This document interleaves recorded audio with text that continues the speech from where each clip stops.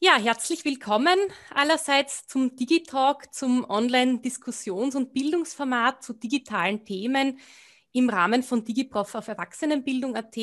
Mein Name ist Karin Kulmer von Conedo. Ich bin heute für die Moderation zuständig. Äh, DigiProf und die Digitalks im Rahmen von Erwachsenenbildung.at sind gefördert vom österreichischen BMBWF, dem Bildungsminis äh, Bildungsministerium. Äh, vielen Dank für diese Förderung. Und außer mir sind von Conedo heute meine Kolleginnen Martina Süßmeier und Beatrice Kogler dabei. Die unterstützen auch technisch. Äh, Wenn es da irgendwelche Fragen gibt, gerne einfach in den Chat schreiben. Die beiden fangen das auf. Und äh, auch Birgit Aschemann von Conedo ist im Chat dabei. Bevor wir jetzt inhaltlich loslegen, noch ein paar organisatorische Hinweise. Äh, zunächst einmal bitte beachten Sie, dass der Digitalk aufgezeichnet wird, dass er dann später auch veröffentlicht wird und dass Sie durch Ihre Teilnahme dem auch zustimmen.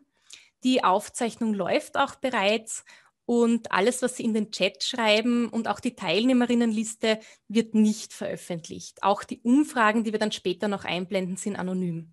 Was es geben wird, ist äh, eine Linkliste. Also wir werden auch Links in den Chat posten. Die steht dann auch im Anschluss zur Verfügung. Und wer von Ihnen eine Teilnahmebestätigung zum Webinar benötigt, muss bitte bis zum Schluss wirklich dabei bleiben und zum Schluss dann eine kurze Frage beantworten und dann schicken wir die Teilnahmebestätigung zu. Teilnahmebestätigung ist nur für die Live-Teilnahme möglich. Ja, wie läuft jetzt dieser Digitalk ab? Äh, zunächst einmal gibt es den ersten Teil, das ist eine klassische Podiumsdiskussion und da bitten wir Sie, äh, wirklich auch sich stumm zu schalten und ihre Kamera zu deaktivieren.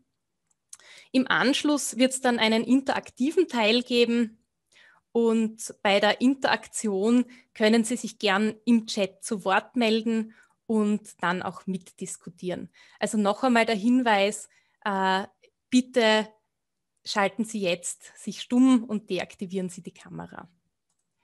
Gut, damit beende ich auch schon meine Bildschirmfreigabe wieder. Äh, ja, digitale Kompetenzen von Erwachsenenbildnerinnen. Äh, wenn man sich die Anmeldezahlen für diesen Digitalk äh, anschaut, dann ist es ein wirklich großes Thema in diesem besonderen Jahr 2020. Und ähm, infolge Corona hat sich da ja auch ganz viel getan im letzten Jahr.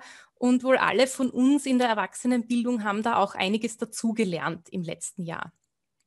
Unsere Frage für heute, welche digitalen Kompetenzen brauchen Erwachsenenbildnerinnen für das Jahr 2021? Also wie schaut es da in der Zukunft aus? Und wir haben da heute vier Expertinnen aus Österreich, Deutschland und der Schweiz eingeladen und möchten das Thema gemeinsam diskutieren. Ich bitte jetzt äh, unsere vier Expertinnen, sich nach der Reihe vorzustellen. Wir machen das in alphabetischer Reihenfolge. Und äh, es beginnt Ricarda Boltenbühler. Vielen Dank erstmal für die Einladung. Ähm, genau, mein Name ist Ricarda Boltenbühler. Ich bin wissenschaftliche Mitarbeiterin an der Technischen Universität Kaiserslautern am Lehrstuhl für Erwachsenenbildung und meine Forschungsschwerpunkte liegen im Bereich Digitalisierung und Erwachsenenbildung und besonders auf den medienpädagogischen Kompetenzen von Lehrenden in der Erwachsenenbildung und welche Handlungsanforderungen es an diese gibt. Und ich habe promoviert zum medialen Habitus von Lehrenden in der Erwachsenenbildung und habe, bevor ich ähm, jetzt an der TU Kaiserslautern gearbeitet habe, beim Deutschen Institut für Erwachsenenbildung gearbeitet, in einem Projekt mit dem Namen MacWeb. Und da haben wir uns explizit mit den medienpädagogischen Handlungskompetenzanforderungen an Lehrende beschäftigt und ähm, eine Umfrage und einen Test entwickelt, einen Selbsttest, wie medienpädagogische Kompetenzen aussehen, was für Weiterentwicklungen es geben soll und auch eine Umfrage, wie quasi es um die medienpädagogischen Kompetenzen von Lehrenden in Deutschland bestellt ist. Das erstmal soweit zur Einführung. Ja, vielen Dank, liebe Ricarda. Als nächstes bitte Angelika Gundermann. Ja, äh, vielen Dank auch von mir für die Einladung und hallo an alle. Ähm, äh, ich bin äh, wissenschaftliche Mitarbeiterin Mitarbeiterin am Deutschen Institut für Erwachsenenbildung in äh, Bonn. Da bin ich seit sechs Jahren und ähm, arbeite in der Abteilung Wissenstransfer. Äh, unter anderem habe ich die Plattform für Lehrende in der Erwachsenenweiterbildung WBWeb aufgebaut, äh, habe dort als Redakteurin lange gearbeitet, ähm, zuletzt auch im Projekt Eule teilgehabt an der Erstellung von Lernfaden, also digitalen Lernfaden, die ähm, in WBWeb ja jetzt integriert wurden Anfang des Jahres. Ähm, genau, und die Einladung hierher habe ich wahrscheinlich bekommen, weil ähm, meine jüngste Veröffentlichung in einem anderen Projekt passiert ist. Zusammen mit dem Kollegen Jan Koschorik bin ich im ähm, Projekt Bildung in der, nein, Digitalisierung in der Bildung, so rum, äh, tätig. Ähm, das ist ein Metavorhaben vom BMBF äh, gefördert, also dem deutschen Bildungsministerium. Ähm, und das vereint eigentlich alle Bildungsbereiche. Wir sind für die Erwachsenenbildung da zuständig, schreiben jedes Jahr ein Dossier zu Fragen äh, der Digitalisierung. Und wir haben uns in unserem ersten Teil beschäftigt mit den Lehrkräften in der Erwachsenen- und Weiterbildung. Und ein, äh, eine Fragestellung war eben die Frage nach den Kompetenzen. Wir haben dazu ein äh, Literaturreview zusammengestellt. Das heißt, wir haben die jüngste Forschungsliteratur angeschaut und können entsprechend jetzt zu Kompetenzen auch einiges dazu beitragen. Ja, vielen Dank auch an dich, liebe Angelika. Ich glaube, äh, meine Kollegin postet auch laufend Links in den Chat. Also wer sich da informieren möchte, auch über das DEE e und über die Publikationen, ähm, genau, kann im Chat nachlesen. Als nächstes bitte Christina Jakoba. Ja, auch von meiner Seite ganz herzlichen Dank für die Einladung. Ich bin Christina Jakober und vertrete heute den Schweizerischen Verband für Weiterbildung. Das ist SWEB, das eine Logo, das Sie hinten sehen. Äh, die anderen Buchstaben FSÖA, das ist Französisch. Die Schweiz ist dreisprachig und wir tragen jeweils alle Sprachen in den Logos auch mit. Dann sehen Sie das zweite Logo, das ist ADA. Ich bin nicht nur Mitglied der Geschäftsleitung SWEB und für äh, gestalte die strategische Entwicklung des Verbandes weiter, sondern auch leite die Abteilung Professionalisierung und Qualität und dazu gehört das ADA-System. ADA steht für Ausbildung der Ausbildenden. Das ist ein System, das es seit 1995 gibt und jetzt bitte ich Karin, die Grafik einzublenden. Ähm, eines äh, der Claims, die wir sagen, ist aus der Praxis für die Praxis das System, wie gesagt, seit 1995. Ich habe hier ein paar Zahlen eingeblendet. Ähm, auf der untersten Stufe, das ist die Stufe 1, das ist so die Ebene der Basisqualifikationen, das sind die SWIP-Zertifikate. Da haben wir mit äh, rund 57.000 Abschlüssen Zahlen erreicht, die äh, einen Brand äh, darstellen. Dann haben wir die Stufe 2, das ist ein eidgenössischer Abschluss, wirklich ein formaler Abschluss der eidgenössische Fachausweis Ausbilderin, auch da sehen Sie die Zahlen insgesamt und die Zahlen pro Jahr. Wenn ich heute Stellung nehme zu Fragen zu den Kompetenzen, dann beziehe ich mich in aller Regel auf dieses Niveau der Stufe Fachausweis. Dann gibt es eben auch Anschlussmöglichkeiten für Leute, die sich in Richtung Expertise weiterentwickeln wollen. Das ist so eben die, das Diplom der höheren Fachschule, Erwachsenenbildnerin, Erwachsenenbildner HF. Oder wer sich mehr Richtung Management entwickeln will, haben wir das eidgenössische Diplom Ausbildungsleiterin, Ausbildungsleiter. Sie sehen auf der, ja was ist es jetzt, spiegelverkehrt, rechten Seite, glaube ich, äh, im Bild, die blauen Quadrate. Und ich denke, das ist heute relevant. Was haben wir für Anstrengungen gemacht in den letzten Jahren? Äh, etwas hervorgehoben ist das Web-Weiterbildungszertifikat Lernprozesse digital unterstützen.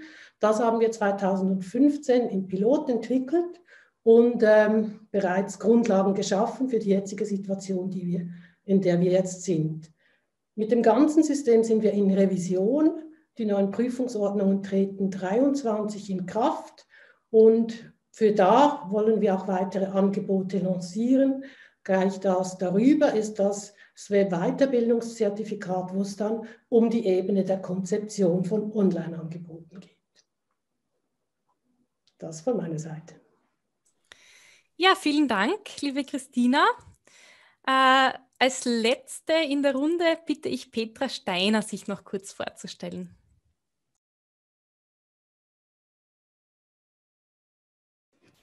Ja, vielen Dank. Äh, ich freue mich, dass ich heute dabei sein kann.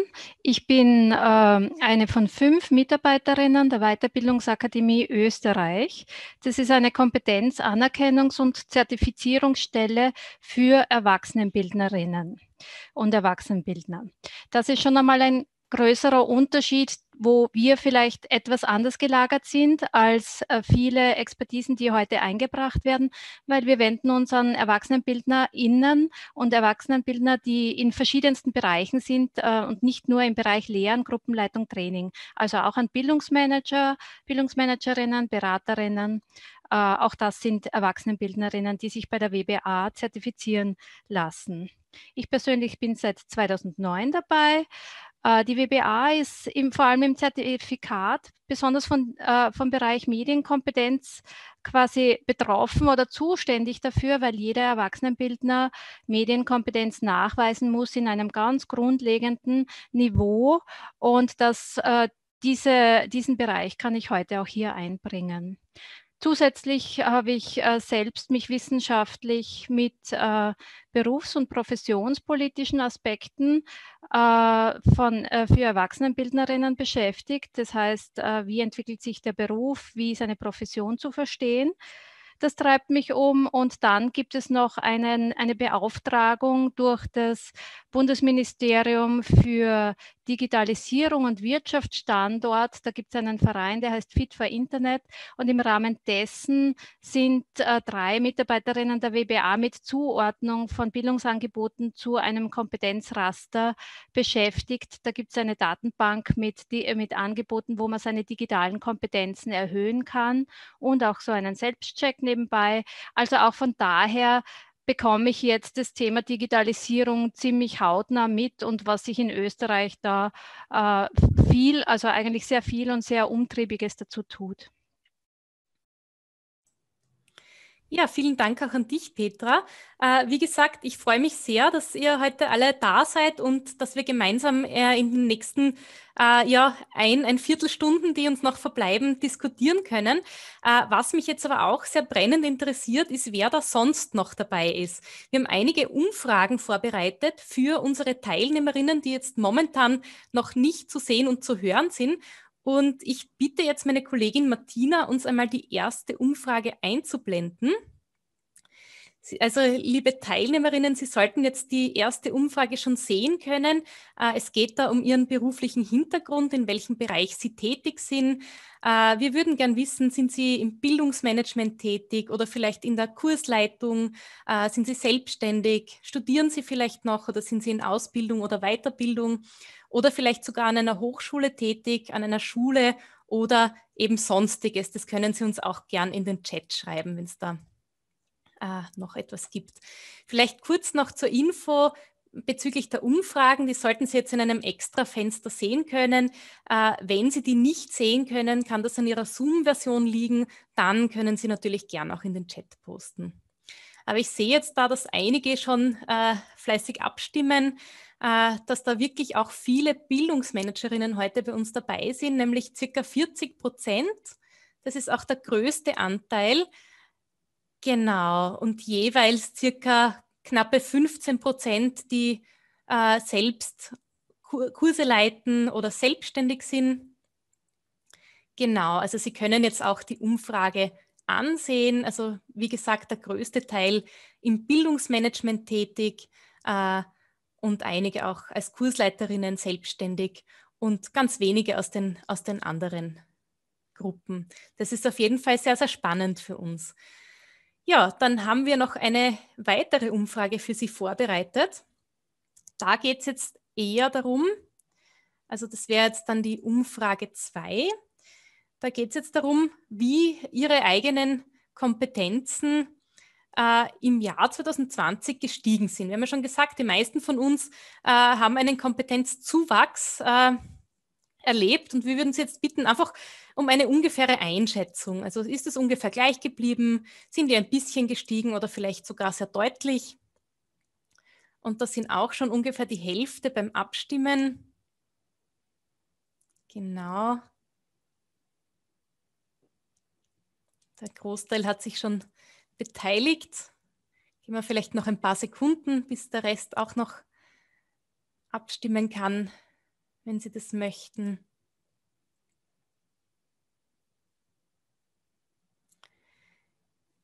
Ja, ich denke, das können wir jetzt auch einmal freigeben. Also der Großteil von Ihnen sagt, die digitalen Kompetenzen sind so um circa 25, 50 Prozent gestiegen, bei manchen auch mehr. Und ganz äh, deutlich bei fast, also fast niemand von Ihnen sagt, dass die digitalen Kompetenzen bei Ihnen gleich geblieben sind. Ja, und dann haben wir noch eine dritte, letzte Umfrage für Sie alle vorbereitet. Da geht es jetzt darum, da ist jetzt auch die Mehrfach, äh, eine Mehrfachauswahl möglich. In welchen Bereichen würden Sie sagen, haben Sie am meisten dazugelernt? Bitte wählen Sie die drei Bereiche, wo Sie am meisten dazugelernt haben im letzten Jahr. Da gibt es eben zur Auswahl Hardware, digitale Tools, Videokonferenzen, Didaktik, Formateplanung, kritische Reflexion, Sicherheit oder auch Finanzierung. Und da ist eine eindeutige Tendenz erkennbar, wenn ich mir die Umfrage so ansehe. Äh, in einem kurzen, Mom äh, kurzen Moment werden Sie es dann auch sehen können, sobald dann der Großteil abgestimmt hat. Ja, ich denke, da haben jetzt schon die meisten eine oder mehrere Antworten gewählt. Ja, und wir sehen, äh, der Großteil von Ihnen sagt, im Bereich digitaler Tools haben Sie sehr viel dazugelernt im Jahr 2020, aber auch bei Videokonferenzen natürlich. Und viele sagen auch bei Didaktik, ähm, Formateplanung und einige auch bei Hardware oder bei kritischer Reflexion und bei Sicherheit. Und Finanzierung war hier nur für ein Prozent ungefähr ein Thema. Ja, Vielen Dank für die Beteiligung an dieser Umfrage. Äh, das ist auf jeden Fall sehr, sehr spannend, das auch da mit äh, zu bekommen, wie Sie das eben einschätzen. Äh, bestätigt auch ein bisschen die, die Einschätzung, dass wirklich sehr viele von uns 2020 wirklich viel dazugelernt haben. wir gehen jetzt dann wirklich gleich in die Diskussion über. Bevor wir dann wir noch anfangen, äh, hätte ich noch zwei ganz kurze Anmerkungen. Äh, Sie hatten ja auch im Zuge der Anmeldung schon die Gelegenheit, auch ein paar Fragen zu übermitteln, beziehungsweise Themen, die Ihnen wichtig sind. Äh, das haben wir uns natürlich zu Herzen genommen und viele Aspekte, die Sie da angesprochen haben, werden wir auch in dieser Disku Diskussion diskutieren.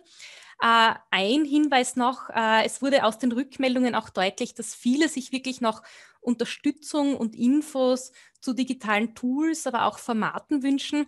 Äh, da möchte ich nur darauf hinweisen, dass das heute nicht unser zentrales Thema ist. Wir haben aber da sehr viele Ressourcen dazu gesammelt und meine Kollegin wird die jetzt auch da in den Chat posten, äh, wo sie sich eben selbst informieren können. Heute stehen eben wirklich die digitalen Kompetenzen im Fokus. Äh, gleich vorab vielleicht noch ein letzter Hinweis äh, von uns, von Conedo. Wir haben da ja ein eigenes äh, Angebot, den EBMUG Plus, in dem wir ja auch eine gewisse Auswahl getroffen haben, welche Inhalte uns für das digitale Arbeiten in der Erwachsenenbildung besonders relevant erscheinen, äh, haben da auch eben Grundlagen, die heute vielleicht noch zur Sprache kommen, wie zum Beispiel den DICCOMP äh, oder das, das MacWeb. Ähm, dafür herangezogen und auch durch aktuelle Bedürfnisse ergänzt. Das nur als Hinweis. Heute sind wir als Conedo ja in der Moderationsrolle und äh, damit darf ich jetzt wirklich zur Diskussion überleiten und möchte gleich mit einer Runde starten. Äh, die erste Frage, die ich meinen Diskussionsteilnehmerinnen da gerne stellen möchte, ist, welche digitalen Kompetenzen brauchen Erwachsenenbildnerinnen jetzt wirklich aktuell ganz dringend? Und ich möchte da Christina Jakoba als erstes um ihre Einschätzung bitten. Ja, ich denke, die Frage ist insofern nicht neu, äh, weil Digitalisierung uns ja seit 20 Jahren eigentlich beschäftigt, aber äh, erstaunlicherweise hat sich auf der Ebene der Professionalisierung im Umgang mit digitalen Medien, äh, mit der Digitalisierung insgesamt nicht so wahnsinnig viel getan. Und wir hatten mit diesem kleinen Modul Lernprozesse digital unterstützen, diesmal angestoßen. Wir wollten auf diese Entwicklung antworten. Und ich antworte jetzt auf die Frage zuerst mal aus der Perspektive, was haben wir gemacht, als wir dieses Modul entwickelt hatten und wo stehen wir heute. Ähm, wir saßen zusammen mit sechs Anbietern, die große Erfahrung hatten mit äh, Kursen aus dem Ausbildungs-, der ausbildenden System und äh, haben zusammengetragen, was braucht für Kompetenzen. Da kamen natürlich Anwendungskenntnisse ganz klar hinzu, aber es ging auch deutlich darüber hinaus. Also nebst auch so ähm, Sicherheitsaspekten, ähm, rechtliche Fragen kamen hinzu. Wie sieht es mit dem Copyright aus? Geht es dann eben wirklich auch um Wertefragen, um die Sinnhaftigkeit äh, der digitalen Medien? Wie setzt man sie ein? Ähm, das kam sehr stark. Und ich denke jetzt in dieser aktuellen Situation, die wir dieses Jahr erlebt haben, hat sich die Investition in die Professionalisierung der letzten 25 Jahre sehr ausbezahlt. Die, wir haben es mit, ein, mit professionellen Erwachsenenbildnerinnen und Erwachsenenbildnern zu tun und die hatten zwar je nachdem einen großen Nachholbedarf, was die Anwendungskenntnisse anbelangt, das mussten sie einfach von heute auf morgen lernen und waren sehr schnell in der Lage, mit ihrem ganzen Know-how und mit ihrer Erfahrung das eben sinnvoll einzusetzen. Äh, da gibt es noch viel zu entwickeln, aber insgesamt haben wir da in diesen Bereichen sehr viel gelernt.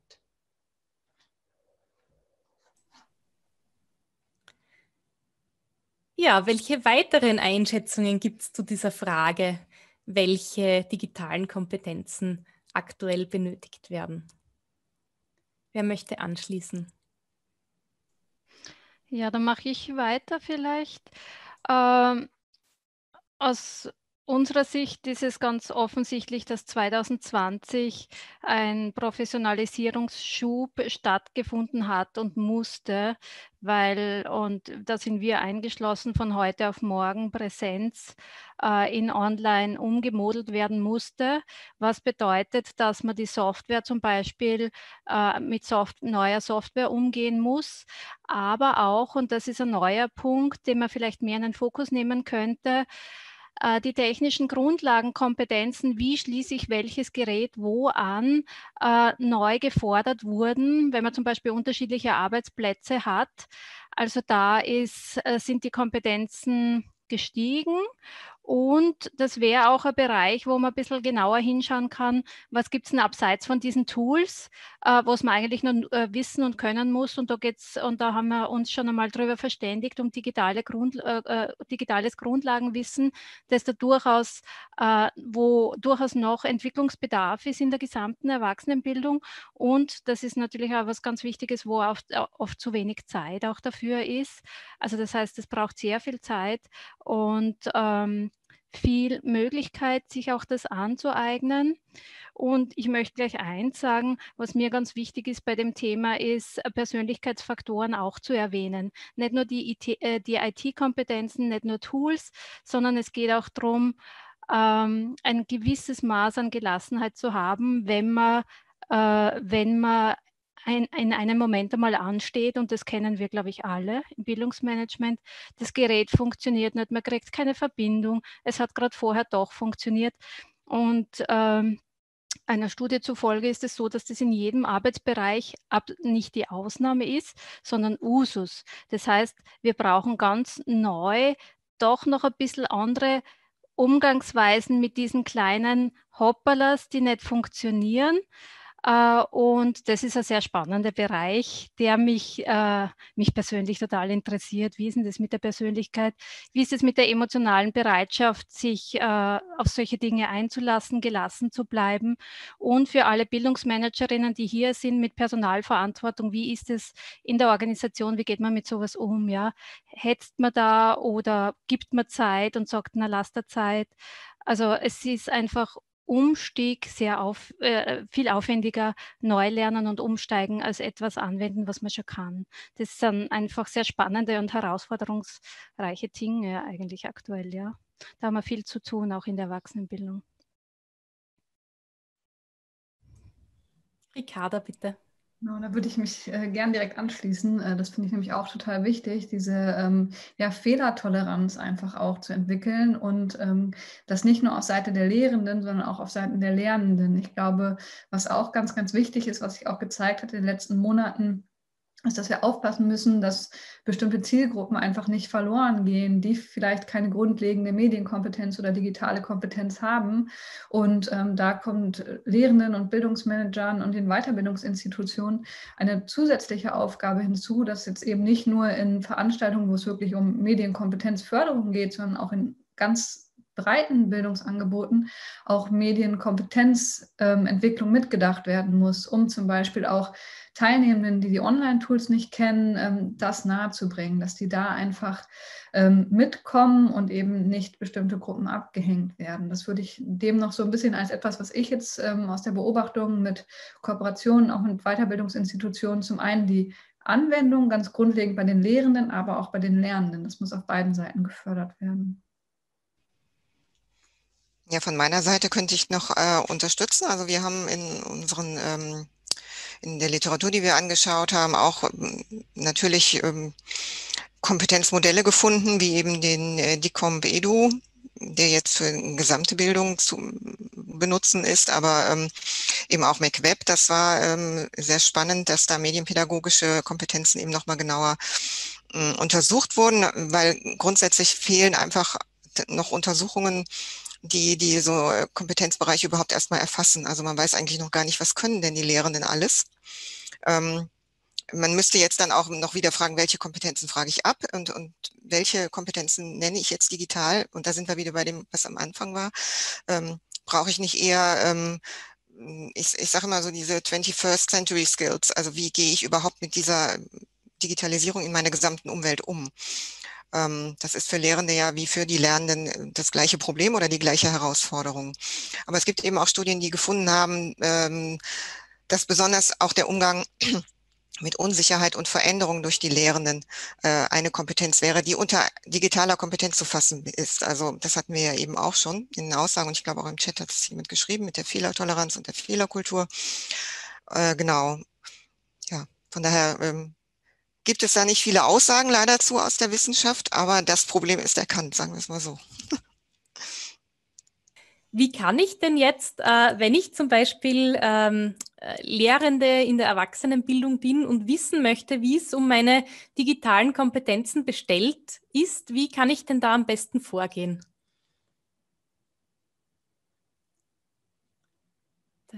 Ricarda. Ähm, also was man erstmal machen kann, ist erstmal überhaupt mal lesen, was gibt es. Also da finde ich tatsächlich, dass es sehr gute Angebote bei WB Web zum Beispiel gibt, ähm, dass man sich da einfach mal äh, durchliest. Und ähm, was wir ja entwickelt haben im Projekt MacWeb ist ein Selbsttest, den man ähm, online ausführen kann. Den kann ich auch den Link gleich nochmal in den Chat posten. Ah, ist schon, glaube ich. Super, und äh, genau da gibt es dann quasi ein Bündel an Fragen. Man muss dazu sagen, der Test ist äh, vor der ganzen Corona-Situation entstanden, dementsprechend noch auf vielleicht andere Handlungssituationen ausgelegt, als die jetzt gerade einfach da sind. Ähm, dementsprechend ist bei so Tests eben auch immer die Frage, wie ist die Aktualität aufgrund der sowohl technologischen Entwicklung, aber auch der gesellschaftlichen digitalen Transformation. Das heißt, solche Tests sind immer nur für ein Zeitfenster wirklich akut aktuell, aber die Fragen sind so aufgebaut, dass quasi wirklich um, auch um, ähm, ja, um, um Kompetenzen geht, um Handlungssituationen, die auch auf andere technische Tools zum Beispiel umgelegt werden könnten. Und da gibt es am Ende ein Feedback, ähm, in welchen Bereichen man sich noch quasi nochmal weiter informieren könnte. Das wäre jetzt so ein Ansatzpunkt, wo man einfach mal gucken kann, um dann davon ausgehend sich einfach in den Bereichen nochmal Informationen anzueignen. Mhm. Petra. Ja, ich könnte fortsetzen. Ich glaube, es gibt, wenn man mal ins Netz schaut, so viele Informationsquellen, dass man leichter mal das Gefühl hat, man wird schon fast erschlagen. Es ist wirklich umfassend. Und das Schwierige ist in dieser Fülle dann das wenige herauszufiltern, was gut weiterhilft. Also ich möchte jetzt nicht den Veranstalter hier äh, über den grünen Klee loben, aber der EB-MUG zeichnet sich eigentlich dadurch aus, dass er diese Vorauswahl trifft. Also er führt durch so grundlegende Dinge durch, die durchaus eine gewisse Orientierungsfunktion haben, wenn man den macht, okay, damit bin ich mal äh, relativ gut aufgestellt, da habe ich jetzt eine Ahnung von vielen vielen wichtigen Dingen. Und das andere, was ich auch sagen muss, ist, ich habe mir im Vorfeld dann unsere Medienkompetenz in der WBA angesehen. Also jeder zertifizierte, jede zertifizierte Erwachsenenbildnerin äh, muss Medienkompetenz nachweisen und wir haben eine Definition dazu im Qualifikationsprofil, die zwei Seiten nur umfasst. Wenn man die liest, das sind schon, äh, es ist von einer interdisziplinären Fachgruppe erarbeitet, das sind schon die Basics, die man, auf die man sich in der Erwachsenenbildung in Österreich für die WBA mal geeinigt hat. Und ich könnte auch äh, dieses Selbstbeschreibungsformular, dieses Tool, das wir verwenden, um seine eigenen Kompetenzen zu beschreiben, Interessierten gerne zur Verfügung stellen. Das ist so, da sieht man mal, äh, man kreuzt an, welche Kompetenzen man hat und beschreibt sie dann. Ich glaube, dass das einem beschreiben, was passiert mit einem anhand dieses Formulars. Und was bei uns wichtig ist, das ist noch nicht so ganz gefallen, wir unterscheiden zwischen Anwendungskompetenz und Reflexion Reflexion. Und in der Reflexion sind jetzt diese Bereiche enthalten wie äh, rechtliche Aspekte, Quellenkritik, äh, Urheberrecht, Datenschutz. Da kommen ganz viele Dinge rein, ohne die man jetzt äh, eigentlich nicht mehr äh, professionell arbeiten kann, was aber nicht heißt, dass man Riesenkonvolut irgendwie äh, so äh, vor sich als Wissen eingespeichert haben muss, sondern es geht auch äh, zum Teil auch um ein sehr hohes Bewusstsein für diese Themen und um ein Bewusstsein, wann ich dann aufpassen muss, wenn ich einen Text irgendwo raus verwende als Lehrende. Also an diesen Dingen kommen wir nicht vorbei. Das wäre eben im Qualifikationsprofil nachzulesen und in diesem Selbstbeschreibungstool, das ich zur Verfügung stellen könnte. Weil das über diese Reflexionskompetenzen, da haben wir schon ein bisschen geredet. Äh, das ist schon gefallen, glaube ich, aber das haben wir noch nicht äh, angeschnitten, dass das eigentlich auch zu den Basics sofort dazugehört. Also man ist sofort im Urheberrechtsfragen, wenn man sehr viel online äh, unterrichtet und Datenschutz ist natürlich jetzt auch, also ist noch mehr Thema, als es vorher war. Ja, also das wollte ich noch ergänzen, ja. Ja, vielen Dank, Petra. Wir haben da auch im, im Chat schon die ersten Interessensbekundungen dem Material gegenüber. Also da würden sich, glaube ich, einige wirklich freuen, wenn wir da etwas zur Verfügung stellen könnten. Christina, bitte. Ja, also ich denke, die, deine Frage war ja die, oder äh, wo stehe ich? Aber die andere anschließende Frage ist ja auch, äh, wie kann ich mich denn weiterentwickeln? Und ich denke, wir hatten vor 2017 mal eine Umfrage gemacht, äh, wo stehen Sie denn mit den Kompetenzen? Da haben 50 Prozent der Befragten angegeben, dass sie sich fit fühlen, äh, in dieser Form zu unterrichten. Ähm, das ist sicher, heute wäre das ganz anders, aber der Weg dahin, das war eigentlich einfach mit enormem Druck, weil die Praxis das erforderte. Und ich habe mir so Gedanken gemacht, wie ist es denn eigentlich mit, dem, die, mit der Erwachsenenbildung im digitalen Format? Ähm, man muss es einfach tun. Also ich glaube, äh, Theorieaneignung ist sicher gut, Wissenaneignung ist sicher gut, aber man kommt nicht darum herum, einfach auszuprobieren und zu merken, was funktioniert, Rückmeldungen einzuholen, sich selber zu reflektieren. Also da ist unser Slogan aus der Praxis für die Praxis, kommt bei dem, beim digitalen Setting einfach enorm stark zum Tragen.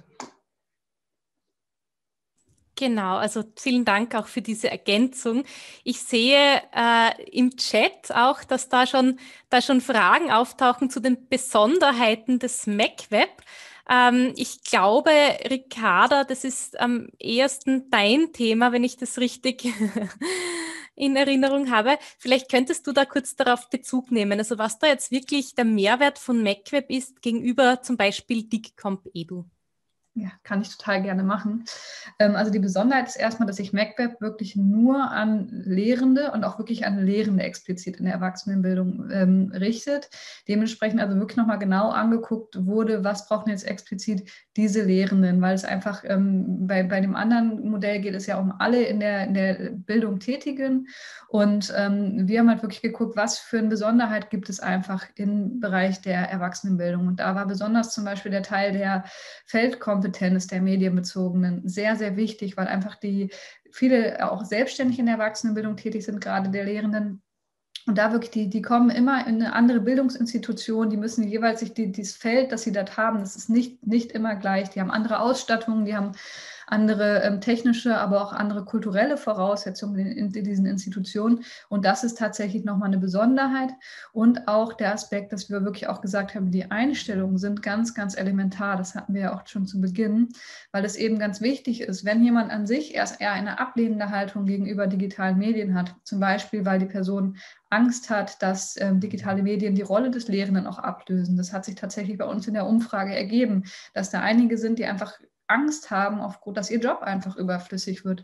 So Sachen, das muss eben auch in ähm, Weiterbildungen aufgegriffen werden zur Reflexion, dass eben digitale Medien nicht ablösen werden, sondern quasi sie neue Möglichkeiten bieten, die dann aber auch trotzdem durch jemanden begleitet werden müssen. Vielleicht gibt es eine gewisse Rolle, einen Wechsel, dass es vielleicht eher nochmal noch mal stärker zu einer Lernbegleitung gibt, was aber sowieso in der Erwachsenenbildung eher schon ähm, der Tenor ist, würde ich sagen.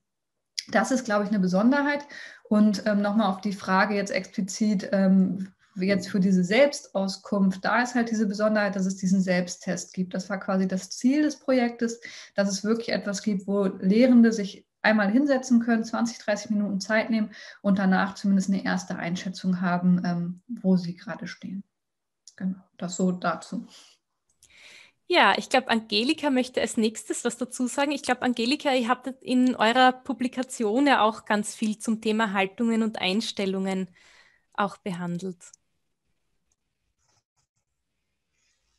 Richtig, genau. Deshalb dachte ich, ähm, bringe ich das hier an der Stelle auch ein. Also ähm, wir haben uns tatsächlich auch neben der, den Kompetenzen die äh, Studien angeschaut, die etwas über Haltung oder Rolle aussagen und haben da eben auch gefunden, was jetzt Ricarda eben schon ansprach, dass es da ähm, ja, einmal, äh, also einmal gab es Studien, die haben eben festgestellt, ähm, welche Haltung überhaupt da ist bei den Lehrenden, ähm, was ja auch schon mal vielleicht interessant ist zu wissen. Ne? Gibt es da grundsätzlich eigentlich Offenheit oder ist da eher Zurückhaltung angesagt gegenüber digitalen Anwendungen, äh, wo also schon auch Studien äh, sagten, nee, eigentlich ähm, ist Offenheit vorhanden. Es gibt zwar auch einige, die das eher zurückhaltend beurteilen, aber grundsätzlich ist Offenheit da.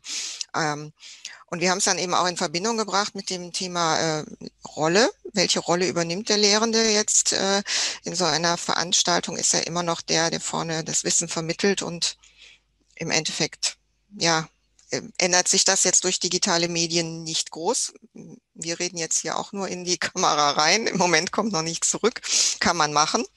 Aber ist das der Sinn des Ganzen? Und ähm, wie Ricarda auch sagt, in der Erwachsenenbildung haben wir ja eben dieses, äh, diesen Rollenwechsel zum Lernbegleitenden hin auch schon eigentlich in der aktuellen Diskussion drin.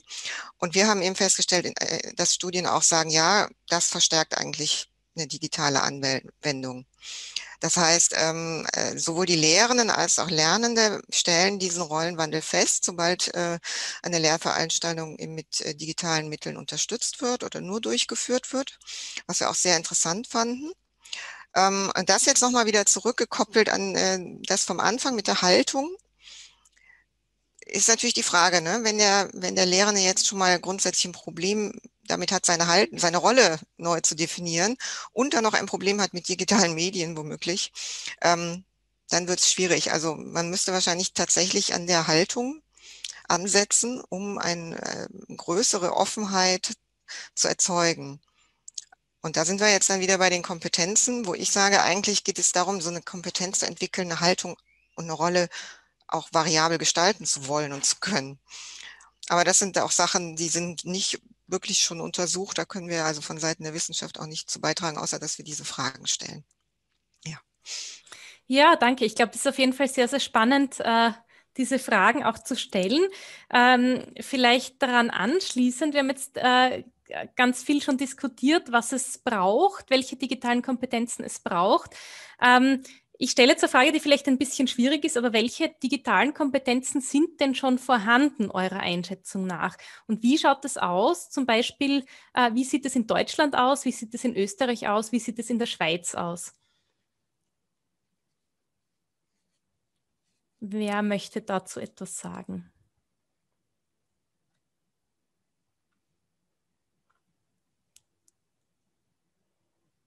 Ricarda? Ich kann gerne mal anfangen. Ich glaube, das kann man so pauschal tatsächlich nicht beantworten. Ich glaube, wir haben eine sehr, sehr große Breite an äh, der Verteilung. Also es gibt Lehrende, die sind wirklich super aufgestellt, die bringen ihre eigene Infrastruktur äh, mit. Auch auf ähm, Bildungsmanagement-Ebene gibt es, glaube ich, einfach Institutionen. Da, da, sitzen Leute, die haben wirklich Interesse und auch schon seit Jahren, jetzt nicht erst durch ähm, dieses Jahr, sondern wirklich seit Jahren schon die Digitalisierung in der Institution vorangetrieben.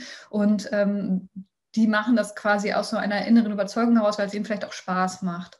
Und ähm, gleichzeitig gibt es aber auch einfach Lehrende und auch Institutionen, ähm, je nachdem, ähm, die einfach da vielleicht kein persönliches Interesse haben e-, oder eben aufgrund der Einstellung ähm, das einfach nicht machen und denen dann dementsprechend auch einfach sehr geringe Kompetenzen, äh, würde ich sagen, zuzuschreiben sind. Deswegen ähm, würde ich sagen, man kann es nicht pauschal beantworten. Was ähm, bei unserer Umfrage rauskam, ist, dass es tatsächlich eigentlich eine, eine breite Mitte gibt. Also dass die meisten Lehrenden, zumindest die damals bei uns in der Umfrage ähm, teilgenommen haben, das waren ähm, im deutschen Bereich, ähm, dass die eigentlich so grundlegend erstmal wissen, wie sie Medien einsetzen, aber jetzt keine Pioniere sind, würde ich sagen, aber auch nicht die konkret ablehnen und sagen, das wollen wir nicht. Dazu könnte ich es so dazu sagen, genau.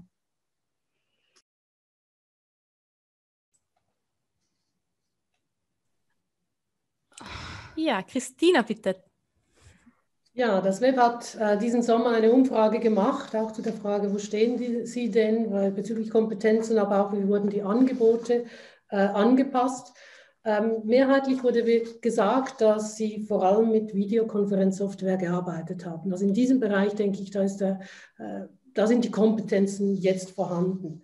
Äh, es geht jetzt darum, das Ganze weiterzuentwickeln. Und ich ähm, ich, habe, mich störe mich ein bisschen daran, dass man von Präsenz und von digital spricht. Eigentlich waren wir schon mal weiter. Also es gibt sowas wie Blended Learning und in diese Richtung muss es weitergehen. Professionalisierung äh, würde heißen, eben hochstehende Blended-Angebote zu realisieren.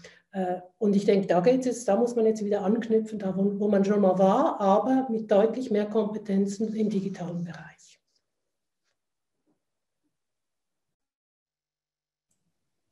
Ja, danke schön. Ich glaube, Petra wollte vorher. Ja, ich wollte einfach nur hinzufügen, für Österreich aus unserer Beobachtung gab es einen leichten Zuwachs an Kompetenzen, beziehungsweise vielleicht gar nicht so der Kompetenzen, sondern der Selbstverständlichkeit, mit der man über neue Medien oder mit der äh, das Bewusstsein, ein, ein Bewusstsein gewachsen ist für dieses Thema. Äh, und äh, zur Haltung oder so. Also ich möchte eigentlich sagen, es muss unterschiedliche Aneignungstypen geben. Da haben wir eigentlich zu wenig Wissen davon in der Erwachsenenbildung. Und äh, da könnte man noch genauer schauen. Es ist vielleicht im Moment so, dass äh, durch diese Umbruchssituation ein bisschen ein Gap, so eine, eine Kluft entsteht zwischen denen, die vorausgehen oder sogar vorauseilen äh, und jenen, die schweigen und nicht dabei sind sozusagen. Und dazwischen hätten wir die Aufgabe, Vermittler und Vermittlerinnen einzusetzen in diesem Prozess äh, der darauf schaut, dass eben Erwachsenenbildnerinnen als Ganzes, also als Profession, äh, da auf, eine gewisse, ähm, auf ein, ein, gewisses Grund, Grundlevel sozusagen kommen beziehungsweise einfach auch das äh, zu moderieren, diesen Veränderungsvorgang und auch diese Lernherausforderung, die wir da jetzt gerade haben, zu begleiten. Das wäre eine Aufgabe, die, äh, die wir im Moment auch haben. Und zur Haltung möchte ich auch sagen, noch weil die Organisationskultur schon Thema war, zum Beispiel ist es total wichtig, ob der Arbeitgeber so wie jetzt bei uns das passiert ist, sofort Instrumente wie Headsets, zur Verfügung steht, stellt, eine Remote-Verbindung für zu Hause, dass, ob ein IT-Support sofort da ist oder ob man damit eher vielleicht ein Stück weit allein gelassen wird. Das macht schon einen riesen Unterschied und verändert auch was bei der Haltung der Leute. Also man kann das auch, äh, man hat da auch äh, Verantwortung dafür als Institution. Ähm, das zu begleiten. Und da haben wir natürlich auch wieder diesen, diese Situation in der Erwachsenenbildung, wo viele Nebenberufliche tätig sind, sehr für Selbstständige, sehr für EPUs. Das heißt, wir sprechen von einer sehr heterogenen Situation diesbezüglich, bezüglich Unterstützung und was muss ich alles selber machen. Und da ist es wieder so schwer, alle, über alle zu sprechen. Aber genau das macht ja die Erwachsenenbildung auch aus und macht sie auch sehr spannend und macht es auch sehr, sehr innovativ und sehr innovationsoffen in Wirklichkeit. Ja, ich sehe einige nicken. Ähm, ich glaube, da haben wir in der Vorbesprechung auch schon darüber gesprochen, dass es einfach ein organisationales Thema auch ist. Ähm, nachdem jetzt heute auch sehr viele Bildungsmanagerinnen, Bildungsmanager da sind, was können denn Organisationen eurer Meinung nach konkret tun? Also wie, wie kann man, kann ich zum Beispiel, ich, wenn ich in einer Organisation tätig bin, wie kann ich vorgehen, um äh, als Organisation zu unterstützen?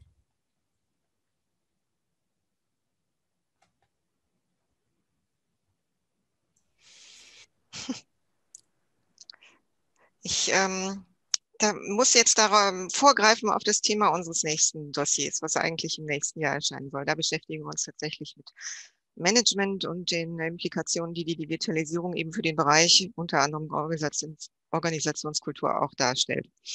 Wir haben jetzt schon sehr viel Literatur dazu gesichtet und ähm, äh, kann, da, von daher kann ich bestätigen, was die beiden Vorrednerinnen auch gesagt haben dass es alles äh, sicherlich eine Aufgabe der Organisation ist, da die äh, Digitalisierung voranzutreiben. Und ähm, soweit sich Forschung überhaupt mit diesem Thema beschäftigt, was leider auch nicht sehr häufig der Fall ist, muss ich wieder auch zu diesem Thema sagen, ähm, äh, kommt aber auch schon äh, zutage, dass äh, eine Strategie äh, für eine Organisation einfach erstmal Grundlage allen Handelns ja ist. Und wenn in dieser Strategie Digitalisierung bisher nicht eingeschrieben ist, dann ähm, wird es schwerfallen, dass die Organisationen insgesamt äh, in ihrer Kultur und auch in dem Management, wie einzelne Teile miteinander agieren, also sei es jetzt die IT oder die Lehrenden oder die Verwaltung oder wer auch immer dazugehört, ist die eben alle zusammen da Bescheid wissen, worum es geht. Also dass tatsächlich da der Bedarf zum Beispiel eben an Headsets besteht für die Menschen, die äh, als Lehrende dann draußen sitzen und nicht mit ihren Lernen, Lernenden zusammen sein können. Also das, das, ne, das fängt also wirklich schon ähm, an sehr rudimentären Dingen, glaube ich, an in den Organisationen. Ähm, ja, das wäre so das, was ich vielleicht mal vorgreifend zu diesem Thema, was wir noch nicht abschließend behandelt haben, beitragen könnte.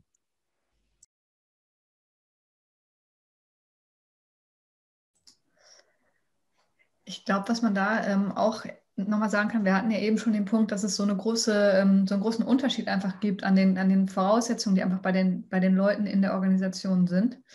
Und ich glaube, da kann man auch sagen, einfach das Gespräch suchen mit den einzelnen ähm, Leuten in der Institution. Also was sind überhaupt die Bedarfe, die meine Mitarbeitenden haben? Und ähm, dann auch eben zu gucken, okay, wir haben diese paar Vorreiter, die, die total interessiert sind und vielleicht können wir mit denen auch einfach institutsinterne Fortbildungen organisieren. Ähm, wenn wir die nicht haben, wie kriegen wir quasi dieses dieses Mindestmaß hin und da wirklich gucken, wo stehen wir gerade. Ich glaube, das ist der wichtigste Schritt und dann davon aufbauen, eben wirklich eine Strategie zu entwickeln. Also das ist, glaube ich, auch ganz, ganz grundlegend und auch ähm, eine Strategie zu haben, die einfach, wie schon gesagt, offen ist, dass die, die alle Mitarbeitenden, egal ob sie auf lehrender oder auf organisationaler Ebene tätig sind, wissen, da wollen wir hin und das ist unser Ziel. Und das hat ja auch was mit einem gewissen Selbstverständnis zu tun, wenn man in einer ähm, Institution tätig ist, dass man da an, an einem gemeinsamen Ziel einfach arbeiten kann.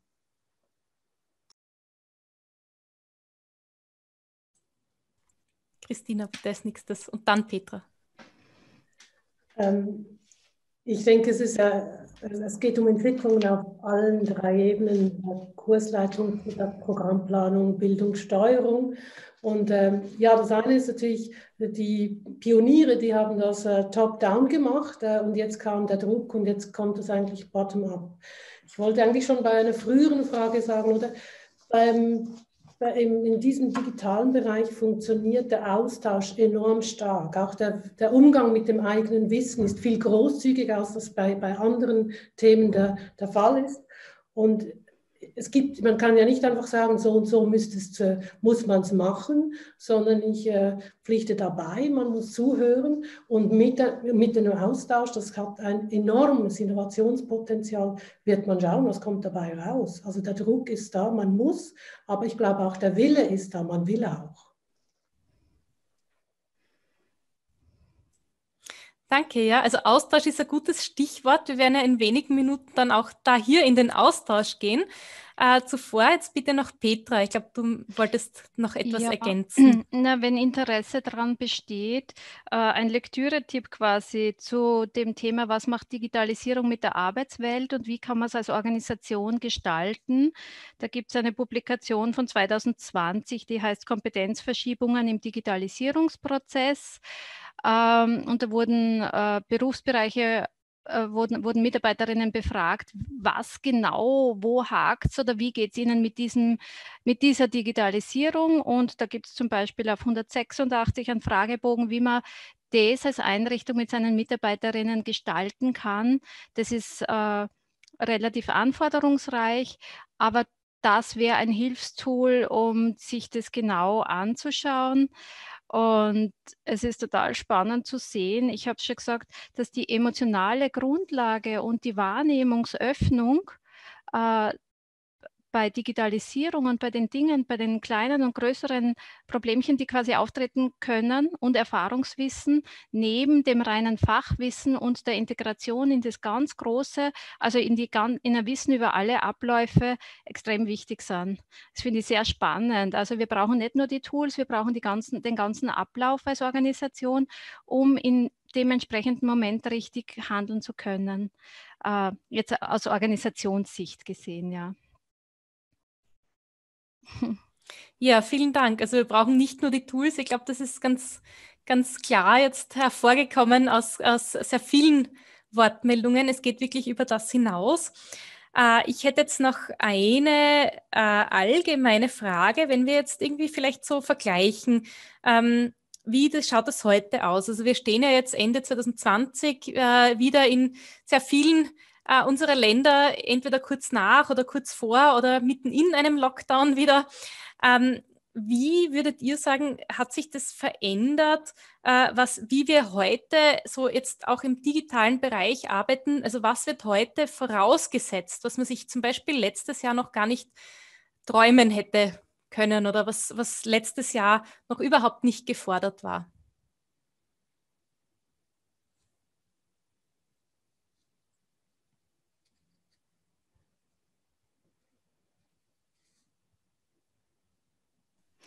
Also ganz kurz, also das, die Anforderung an Flexibilität und an schnelle Anpassung, an schnelles Reagieren ist irgendwie schon immer da in der Berufswelt, aber da vielleicht noch einmal äh, angestiegen und die Anforderung, Komplexität zu integrieren, also gleichzeitig das Ganze im Blick zu haben und breite Kompetenzen und vor Ort aber handlungsstark zu sein.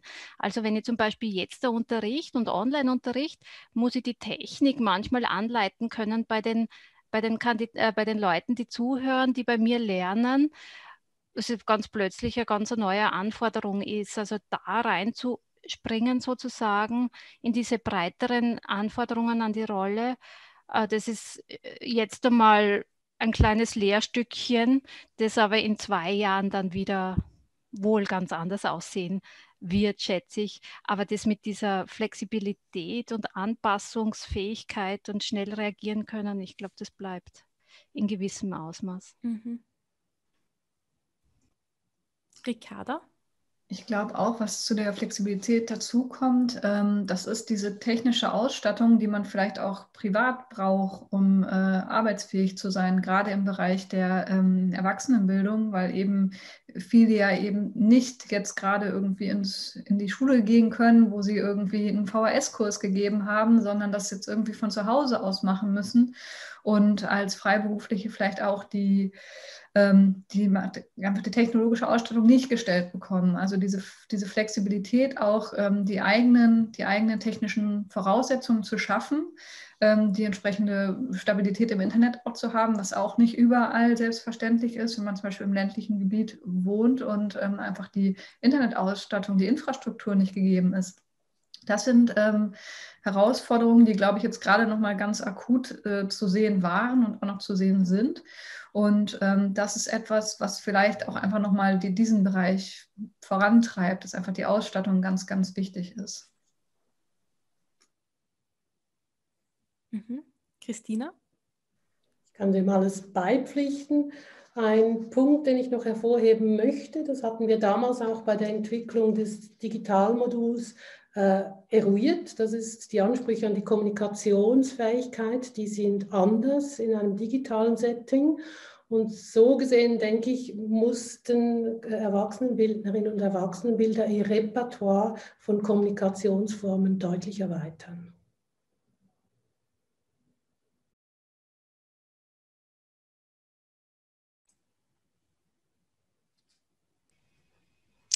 Mir bleibt eigentlich auch nichts mehr hinzuzufügen. Ähm, da ich jetzt auch mit der Praxis ja nicht so viel zu tun habe mehr, ähm, fehlen mir da sicherlich äh, die Erfahrungen, was Lehrende gerade tatsächlich erleben. Mm, ich kann nur aus dem eigenen Berufserleben sozusagen ähm, sprechen. Ähm, und ich denke, das ähm, habe ich auch letztens in, in, einem Podcast, den wir bei WWWeb heute übrigens veröffentlicht haben, das war jetzt der Werbeblock, ähm, eine, eine Teilnehmerin gehabt, die ähm, also viel mit Führungskräften arbeitet und die äh, sehr äh, oft da wieder darauf zurückgekommen ist, dass eben die Digitalisierung auch auf diese Führung einen unheimlichen Einfluss haben wird. Und ich denke, das merken wir ja auch alle, wenn wir vielleicht erleben, ähm, dass wir nicht mehr im Büro neben dem Chef sitzen, dass diese Beziehungen sich auch anders gestalten. Das hat mit Kommunikation zu tun, das hat mit äh, mit den Mitteln und mit den, auch mit den, mit den Kompetenzen zu tun. Mancher Mitarbeiter kennt sich mit den digitalen äh, Tools besser aus als der Chef. Also das sind äh, ganz äh, interessante Fragen, die wir jetzt, die, die eigentlich schon lange mitschwingen in dem Thema. Ich habe äh, für WWF eine, ähm, ein, ein Dossier gemacht äh, zu ähm, Arbeit 4.0 und, und der Weiterbildung, also wo wir das auch schon mal angerissen haben. Ähm, aber ich glaube, jetzt haben es wirklich sehr, sehr viele Leute am eigenen Leib dann auch erlebt, wie das dann sich gestaltet in der Realität, weil es kein Drumherum mehr gab bei vielen Institutionen äh, eben vor Ort so, nicht mehr arbeiten zu können. Ja, das wäre vielleicht noch ein Aspekt, den ich jetzt so dazu beifügen könnte. Mhm. Ja, danke schön, sehr spannend. Den Podcast äh, kann man sicher recherchieren und dann im Nachhinein in die Linkliste aufnehmen bin sicher, dass der auch für einige hier sehr spannend ist. Äh, ja, es ist jetzt 16 Uhr. Ich würde vielleicht um eine ganz kurze Schlussrunde noch bitten, äh, sodass wir dann auch wirklich überleiten können in die interaktive Diskussion mit unseren Teilnehmerinnen.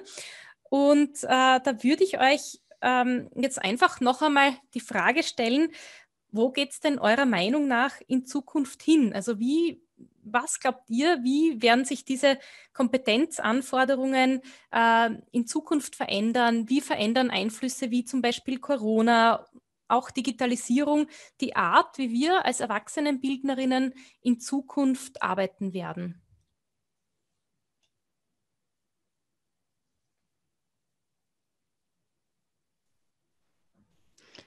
Ich fange halt an und sagt, was ich immer äh, dazu denke. Ich denke, dass die Zeit nach Corona doch etwas anders sein wird, wie es gerade jetzt alle erleben.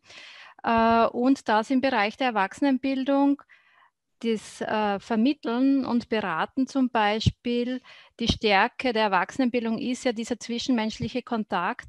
Also, dass das natürlich wieder mehr werden wird wie in Corona-Zeiten und dass es aber die, die Integration von digitalen Meetings äh, natürlich äh, höher sein wird, als es vor der Corona-Zeit war, kann ich mir gut vorstellen. Einer aktuellen Umfrage vom IMAS-Institut sagen jetzt, folgend sagen jetzt tatsächlich Leute, ein ideales Kursangebot hätte 40 Prozent digitale Anteile und 60 Prozent Präsenzanteile.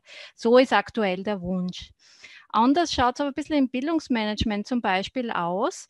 Da kann ich mir vorstellen, dass die Art des Zusammenarbeitens sich grundlegend ändern könnte, wenn mehr digitale Treffen üblich wären, sodass zum Beispiel internationale Kontakte sie verändern, dass man sie mehr online trifft bei internationalen, was weiß ich, Erasmus Plus Projekten und äh, die Mobilität dann dementsprechend zurückgeht und auch der Aufwand, der dadurch, dadurch getroffen werden muss so irgendwie. Also es wird viel mehr selbstverständlicher Bestandteil unseres Alltags sein und wir werden relativ gelassen, denke ich und hoffe ich, äh, damit umgehen.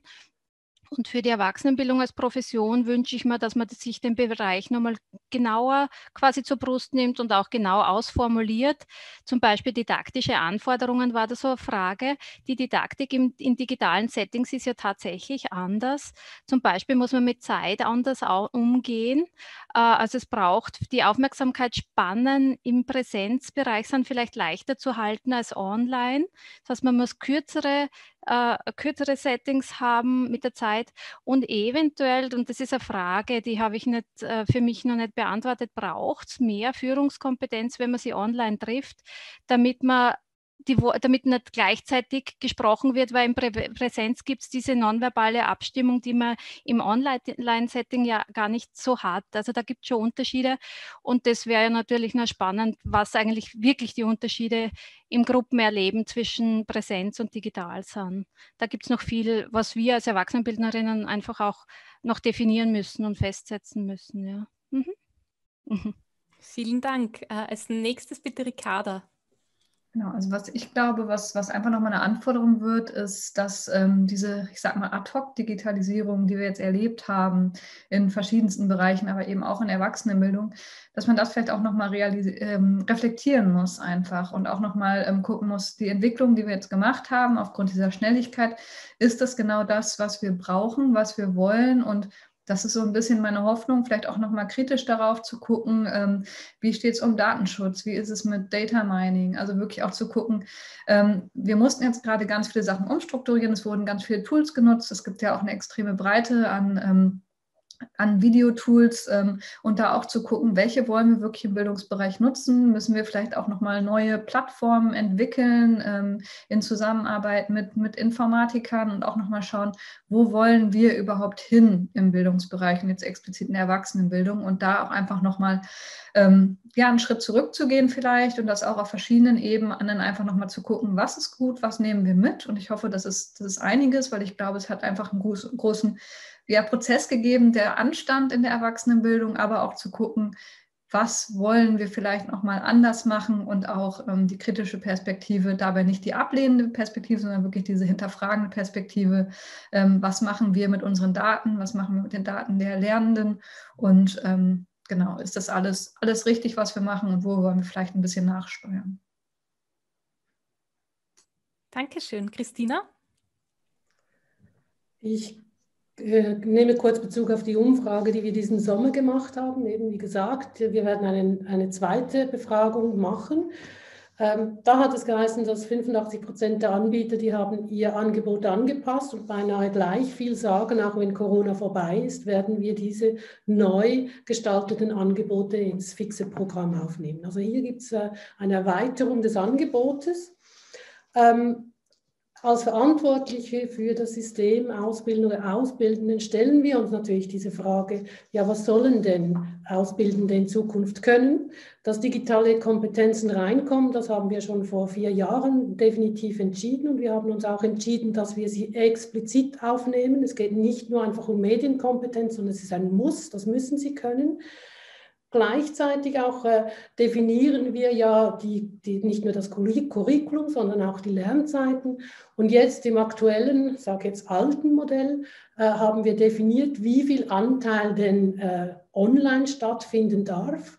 Und jetzt äh, werden wir das eher umdrehen. Wir sagen, wie viel Zeit muss denn in Präsenz stattfinden?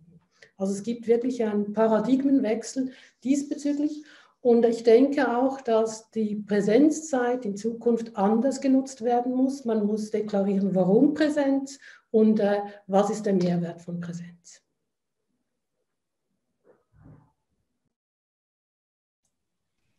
Dankeschön. Und abschließend noch Angelika. Ja, es ist jetzt ja schon unheimlich viel erwähnt worden.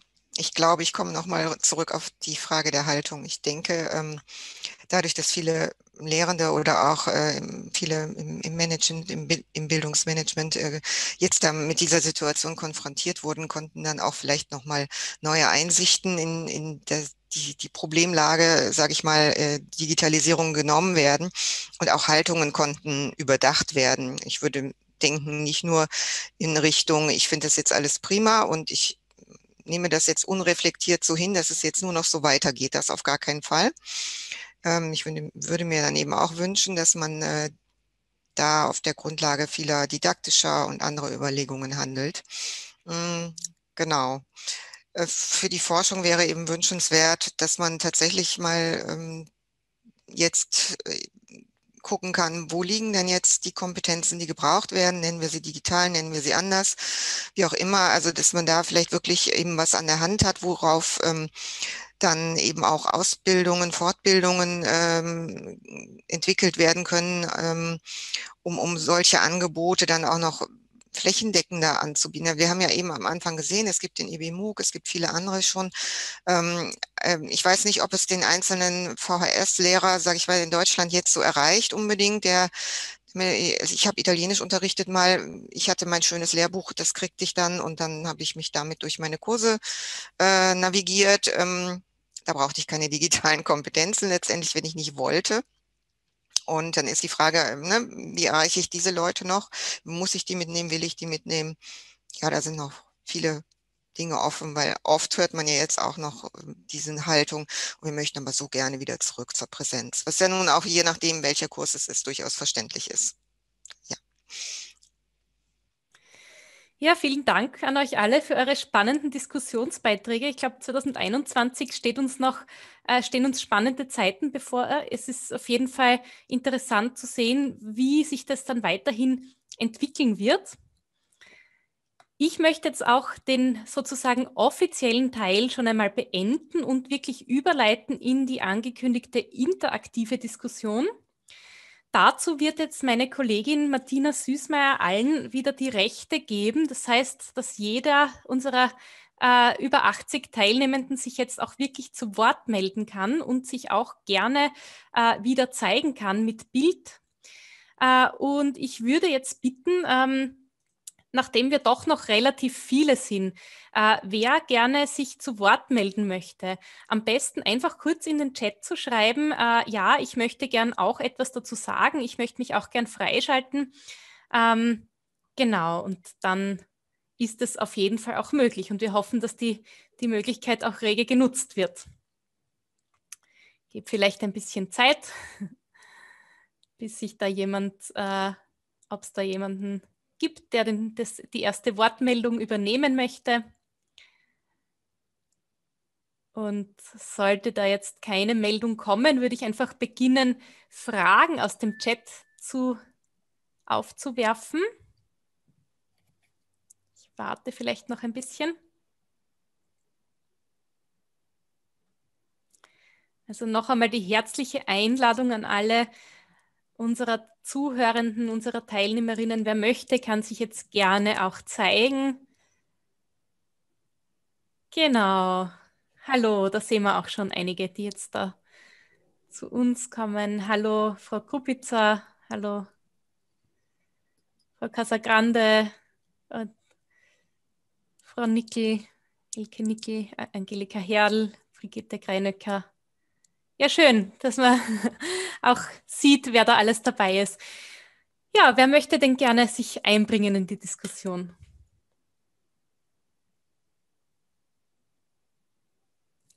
Brigitte Kubitzer hat sich, ich hoffe, ich spreche den Namen richtig aus, hat sich zu Wort gemeldet. Ja, danke.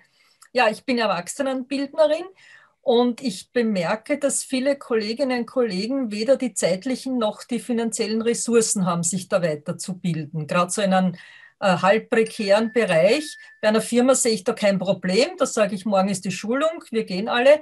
Äh, wie können wir da vorgehen, äh, dass Kurse nicht wegbrechen, beziehungsweise auch die Teilnehmenden die Chance kriegen, sich weiterzubilden? Ich glaube, es werden uns viele Leute verloren gehen auf diesem Weg in die digitale Welt.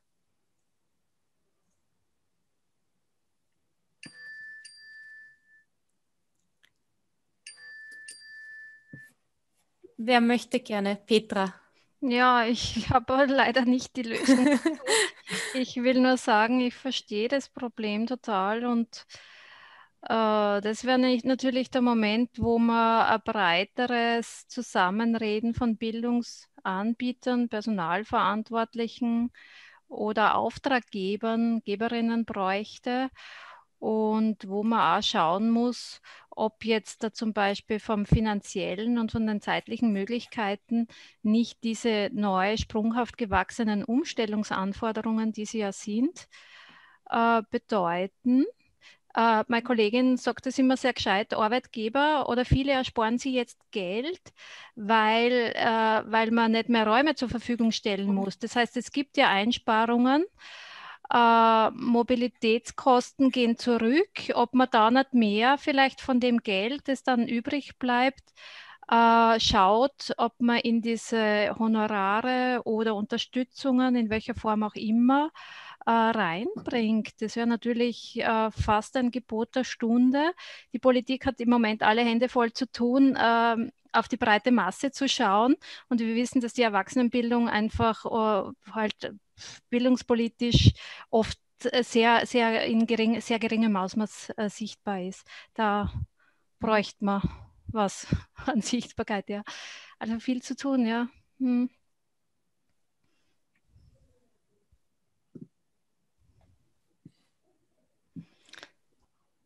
Christina sich zu Wort gemeldet. Ja, Petra hat jetzt die politische Ebene angesprochen. Da sind wir natürlich als Dachverband auch aktiv. Jetzt, ich spreche für die Schweiz. Äh, da gingen auch diese Einzelunternehmen oder die Gesellschafter, die Inhaber von GmbHs am Anfang einfach vergessen. Und es brauchte äh, zusätzliche Maßnahmen, dass die ebenfalls äh, so unterstützt wurden wie Festangestellte. Diese Hilfen sind aber ausgelaufen und es für die für die Zukunft äh, sieht es im Moment nicht so toll aus. Also das ähm, gibt es auch Härtefallprogramme, aber die kommen erst zum Greifen, wenn der Verlust wirklich enorm groß ist. Aber wir werden uns dafür weiter einsetzen. Tatsächlich denke ich, sind viele ein bisschen auf, äh, auf sich allein gestellt. Und äh, was ich vorhin schon mal erwähnt habe, viele Leute sehr, gehen sehr großzügig mit ihrem Wissen um. Das Web hat den Swapspace lanciert vor erst wenigen Wochen. Das ist www.swap.space.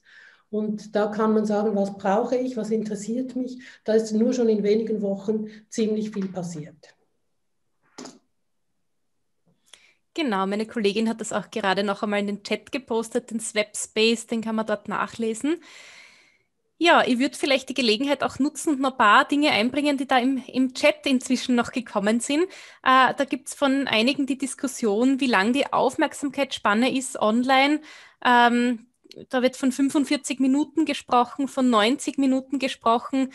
Ähm, also ich glaube, wir sind uns alle einig, dass das nicht gar so lange ist und dass es online eben auch immer einen Wechsel der Sozialformen vor allem bedarf. Ich weiß nicht, ob jemand da eine konkrete Einschätzung treffen möchte, wie viele Minuten da gut sind.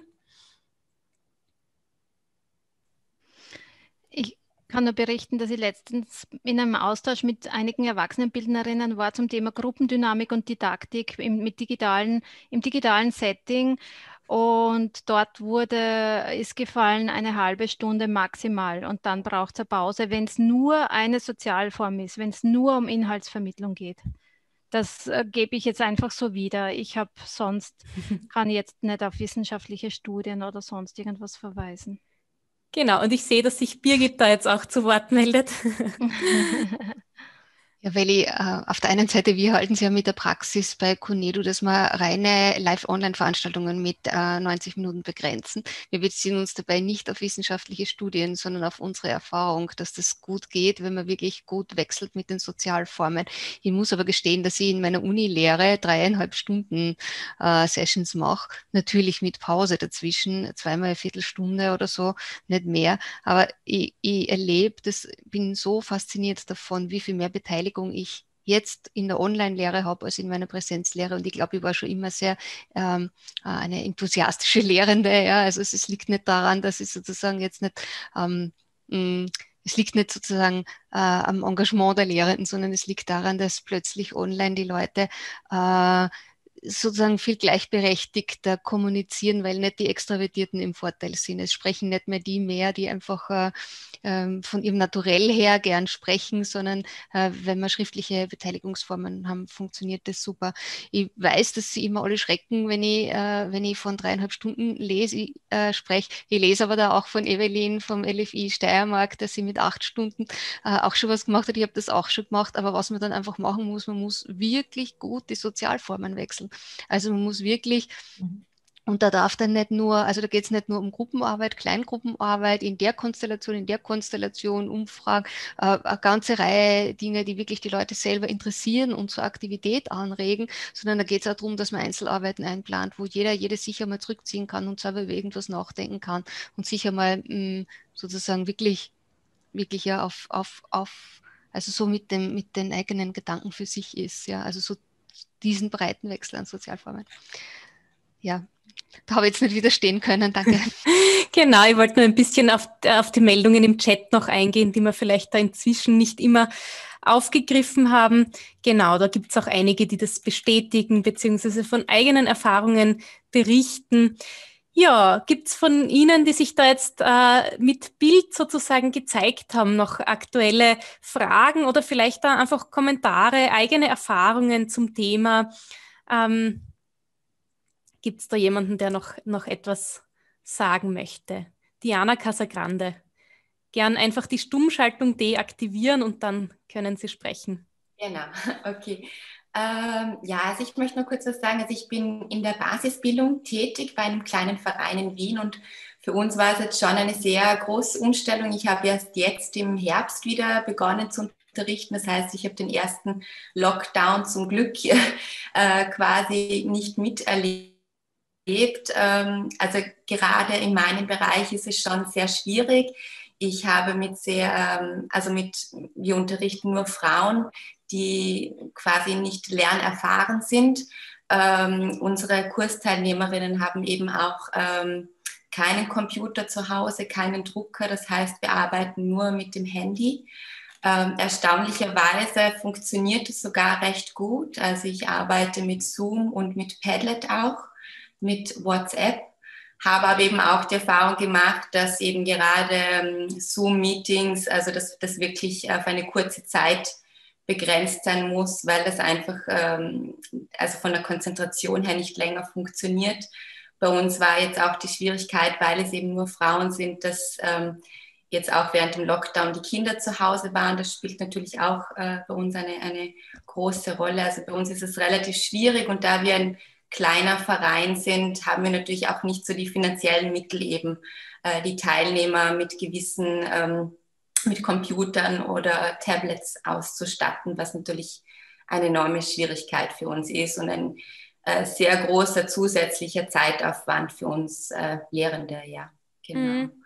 Aber also was wir untereinander festgestellt haben als Lehrende, dass wir doch schon trotzdem vieles mitnehmen können, dass wir viele Meetings jetzt auch vielleicht online machen werden, wo wir uns sonst ähm, getroffen haben, dass wir das vielleicht doch für die Zukunft auch mitnehmen werden. Aber bei uns ist es halt einfach in diesem Bereich sehr schwierig, hier ähm, von Präsenz komplett oder teilweise digital umzustellen, weil einfach, ja, wir haben Teilnehmende, die nicht alphabetisiert sind. Das ist einfach ein sehr schwieriger Bereich. Ja. Mhm.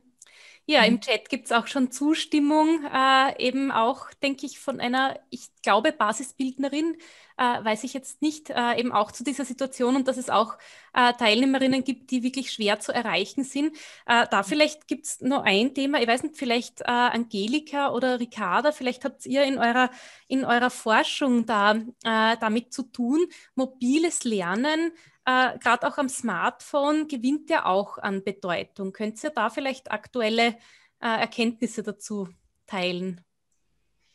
Ähm, leider nein, dazu nicht. Ich kann nur bestätigen, es gibt, äh, gab eine Studie, die wir gefunden haben, die ähm, Lehrende aus dem Bereich Grundbildung tatsächlich danach gefragt hat, äh, wie das aussieht, welche äh, Kompetenzen in ähm, im Rahmen der Digitalisierung Sie äh, sich vorstellen äh, zu erweitern, beziehungsweise wie Lehrende da ähm, anders agieren. Und äh, das war eigentlich die einzige Studie, wo die Lehrenden gesagt haben, also wir sind da eher skeptisch und wir, ähm, wir stellen uns äh, das schon sehr schwierig vor. Und das bestätigt jetzt wiederum, ne, dass man da nicht alle Bildungsbereiche und auch nicht alle Teilbereiche der Erwachsenenbildung ähm, sozusagen über einen Kamm scheren kann. Finde ich sehr interessant, das jetzt nochmal so aus der Praxis zu hören. Ja. Aber sonst leider dazu dem anderen kann ich nichts beitragen. Also ich kann da auch leider jetzt keine äh, quantitativen Zahlen zu sagen. Ich weiß aus der qualitativen Forschung, da ähm, habe ich viele Interviews mit Lehrenden auch zu dem Thema von, äh, wie ist es denn mit der Erreichbarkeit von Teilnehmenden äh, und auch dem Lernen, jetzt tatsächlich dem mobilen Lernen. Und ähm, da ist es tatsächlich so, dass sich dadurch eher, zumindest jetzt bei diesen Interviews gezeigt hat, dass die Lehrenden das Gefühl haben, dass sich dadurch eher nochmal die Kluft tatsächlich aufmacht, dass die Leute, die sowieso wissen, wie sie an Wissen kommen, wie sie an Informationen kommen, einfach super mobil mal eben Sachen nachgucken können, vielleicht auch ganz viele Inhalte, die sie lernen wollen, in der Cloud haben, in der Pause mal eben lesen können, weil sie auch einfach wissen, wie sie es digital organisieren. Das ist ja auch einfach eine große Herausforderung, erstmal das eigene Wissensmanagement in dem Wust von Wissen im Internet ähm, sich einfach selbst zu organisieren. Und ähm, da kann ich tatsächlich sagen, dass da zumindest ähm, bei diesen Interviews, die ich geführt habe, das Feedback war, es ist eher so, dass da wirklich die große Vermutung ist, dass gerade auch im Bereich der, ähm, der Erwachsenenlernen, das informelle Lernen, einfach nochmal eine große Kluft aufmacht, äh, die es sowieso schon gibt, die einfach größer werden wird. Genau, und im Chat äh, wird da jetzt auch eben bestätigt, dass, äh, da sagt eine Kollegin, dass ein Kursauftakt in Präsenz und Fortführung digital gut geht. Und ich glaube, Birgit Aschemann hat da noch einen Kommentar dazu. Ja, ich bin jetzt gar nicht, äh, muss gestehen, ich bin jetzt nicht sozusagen den letzten Gedankengängen gefolgt. Ich bin jetzt noch ein bisschen bei dem Beitrag von Frau Gundermann äh, gehängt und bei der Frage der Vorrednerin, ich glaube, Frau Casagrande war das, wo es um die Mobilgeräte gegangen ist und äh, wie weit da die, das, der, der, Umgang mit Mobilgeräten nicht einfach äh, oder das Lernen, Lehren mit Mobilgeräten nicht vielleicht einfach eine Unterstützung sein könnte, äh, wenn es darum geht, Menschen, die eher ungewohnt, also digital ungewohnt oder auch von ihrer Infrastruktur, ihren Bedingungen eher Gefahr laufen, abgehängt zu werden. Ja, also wie weit da Mobilgeräte was, was ändern würden dran. Also ich äh, habe äh, eine Studie in Erinnerung, die wir selber eine kleine Studie, es war eine qualitative Geschichte mit, äh, da haben wir, also ich glaube 50 Einrichtungen haben da mitgemacht, es war wirklich was Kleineres, äh, wo es um äh, die Arbeit mit Migranten, Migrantinnen gegangen ist, äh, wo uns verblüfft hat damals schon, wirklich in welchem Ausmaß, es waren vor allem Migrantinnen, alle gesagt haben, sie haben ein Handy, ja, sie haben einen Vertrag, der das hergibt, dass sie wirklich mit dem Handy äh, ausreichende Zeit online sein können, ja, äh, wo es wirklich so eine Frage war der, der äh, Kompetenzen der Unterrichtenden, die, die damit eigentlich nichts anfangen konnten oder nicht im ausreichenden Maße jetzt diesen Lernenden entgegenkommen konnten und sie nicht ausreichend unterstützen konnten. Und jetzt hat dieses Corona-Jahr diesbezüglich, glaube ich, einfach die Situation nochmal verschärft und hat uns das recht deutlich gezeigt. Also ich habe aus etlichen äh, Erfahrungsberichten von Basisbildnerinnen und Basisbildnern einfach gehört, dass sie, dass sie so oft diese Situation haben, hatten. Sie haben die Leute entweder mit einer Postsendung erreicht ja, oder am Mobilgerät. Ja. Und da ist für mich so die Frage, Frage auch so, und die passt ja, glaube ich, gut zu der Diskussion heute, ist es denn so, dass wir jetzt wirklich äh, infolge dieses letzten Jahres äh, in erhöhter Dringlichkeit die, die, die Notwendigkeit hätten, äh, mit dem Mobilgerät unterrichten zu lernen? Ja? Also wirklich voll, voll umfassend, ja? angefangen von eigener Wissensorganisation, aber auch Instant Messenger zu nutzen, um, um mit den Leuten wirklich also mit Aufgabenübungen, äh, Kontakt, äh, Lernumgebung, improvisierte am Handy und so weiter zu stellen. Das ist einfach eine Frage, die mich beschäftigt beschäftigt. Ich vermute, es sollte eigentlich in die Richtung gehen, aber ich bin, ich, ich würde mich so sehr interessieren jetzt in dieser Expertinnenrunde, wie denn da eigentlich äh, der Eindruck dazu ist. Wobei ich weiß, fünf Minuten vor Schluss, große Frage, aber vielleicht kann man das ganz kurz. Ähm, Im Chat gibt es zumindest Zustimmung. Äh, ich weiß nicht, ob von euch auf dem Podium noch gern jemand etwas ergänzen möchte. Ricarda ist da, glaube ich, gerade am. Genau. Ja?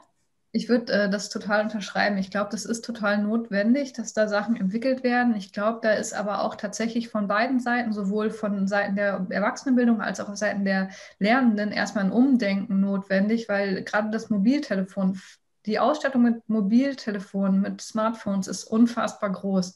Das heißt, das ist eigentlich nicht der Punkt, dass die Leute nicht erreichbar sind. Also die meisten Leute heutzutage haben laut Umfragen einfach den Zugang zu einem Smartphone. Nicht alle natürlich, also es gibt immer noch ein paar, die wir da auch nicht erreichen würden.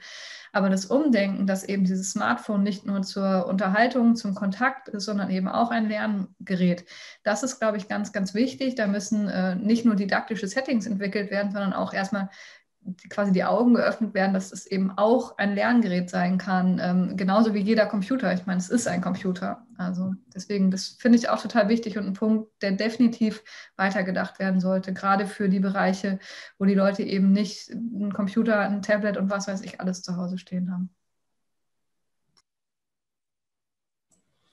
Ja, danke schön. Äh, Im Chat gibt es da auch noch die Hinweise auf äh, das Thema Datenschutz, das natürlich auch immer mit zu berücksichtigen ist.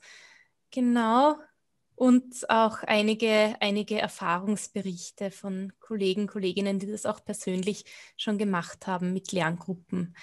Ja, wir sind jetzt äh, drei Minuten vor Ende. Ich möchte jetzt noch einmal in die Runde fragen. Gibt es noch jemanden, der gerne zum Thema äh, etwas sagen möchte, vielleicht noch Fragen hat oder auch gerne Erfahrungen teilen möchte? Dann wäre jetzt die Gelegenheit. Elfriede Berger. Ja, also ich ähm, bin Lehrende an einer pädagogischen Hochschule in Wien und unsere Studierenden und auch die Studierenden der Fort- und Weiterbildung kommen aus ganz Österreich. Und hat uns die, der Lockdown eigentlich geholfen oder vor allem vielen Teilnehmern geholfen, eher an Bildungsveranstaltungen teilzunehmen. Vor allem auch äh, Frauen, die in Karenz sind, sind jetzt im Online-Seminar, das sie vielleicht vorher nicht besuchen konnten. Wenn die Kinder kurz laut sind und dann halten sie nicht weg und sie können einfach teilnehmen. Und das sehe ich den großen Vorteil überhaupt die Teilhabe. Ähm, das Thema Exkursionen mit Handy habe ich auch in den Chat reingeschrieben. Denn das haben wir auch umgesetzt, also mit, mit der Zoom-Software aufs Handy herunterladen und dann kann man irgendwo in einer Schule eine Exkursion als Lehrender durchführen und die Studenten sitzen zu Hause am Laptop und können direkt Fragen stellen. Also das ist ein unglaubliches Potenzial. In Österreich wurden auch die Fahrmenare entwickelt, wo die Berater und Beraterinnen am freien Feld sind, im Stall sind und dann direkt mit den äh, Teilnehmern und Teilnehmern im Web reden. Also es ist ein Riesenpotenzial und sehr oft ist es dann auch die Kreativität und ein bisschen das Ausprobieren. Und ja, also die Lehre wird bei uns eins zu eins umgesetzt. Das heißt, ich habe morgen wieder am Vormittag zwischen 8.30 Uhr und 12 Uhr Lehre, 10 Minuten Pause dazwischen, mit, mit diversen Settings und Breakout-Räumen und die Studierenden werden in Arbeitsgruppen geschickt. Das ist eigentlich fast wie Präsenz möglich. Also, und die, auch in den Vorlesungen merken wir, dass mehr Studierende eben anwesend sind. Da kann ich mich nur anschließen. Ähm, es ist leichter möglich teilzunehmen, als wie sonst oft in der Präsenz. Ja, ja danke, auch für den, danke auch für diesen mhm. Erfahrungsbericht, dass auch wirklich äh, das digitale Format auch Teilhabe eben ganz stark fördern kann. Beziehungsweise ja. ein Satz noch, die hybride Lehre war dann auch Thema, weil Wien wurde ja dann Risikogebiet und die Teilnehmenden sind dann in Osttirol vom Laptop gesessen. Ein Teil der Teilnehmer war in Präsenz und es war schön, dass alle möglich, die Möglichkeit hatten, teilzunehmen, auch wenn sie vielleicht nicht alles hundertprozentig gehört haben oder nicht eins zu eins vielleicht so äh, didaktisch umsetzbar war, aber sie waren zumindest dabei. Und alleine das ist eine große Chance. Und ich freue mich, dass ich hier dabei sein kann und mit Teilnehmern, ja, mit so vielen Teilnehmern, die eigentlich wahrscheinlich auch aus Deutschland, Schweiz und Österreich dabei sind, ja, dass man noch kommunizieren kann. Ja, super. Wir freuen uns auch sehr über die rege Beteiligung. Äh, ich schaue jetzt mit dem Blick äh, auf die Uhr. Es ist schon 16.30 Uhr und wir hatten unseren Digitalk ja bis 16.30 Uhr angekündigt. Äh, das heißt, ich teile jetzt dann auch noch einmal meinen Bildschirm. Ich habe nämlich noch ein paar Infos vorbereitet für alle, die bis zum Schluss dabei geblieben sind und die vielleicht auch eine Teilnahmebestätigung möchten. Kurzen Moment. So. Genau, also das war eben unser, unser Digitalk zum Thema digitale Kompetenzen von Erwachsenenbildnerinnen für das Jahr 2021.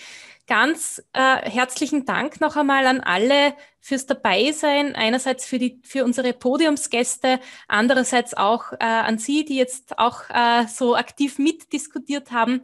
Äh, ich habe da auf diese Folie noch einmal den Link draufgegeben, wo Sie die Aufzeichnung finden, äh, voraussichtlich in wenigen Tagen.